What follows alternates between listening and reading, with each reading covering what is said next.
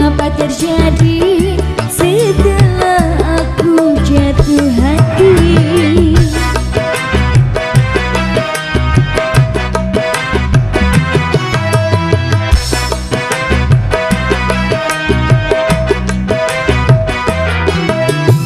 Tepat hatiku melihat kau berjalan dengan seorang wanita.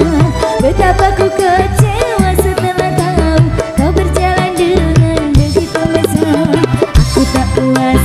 untuk melihatnya. Akhirnya ku berjalan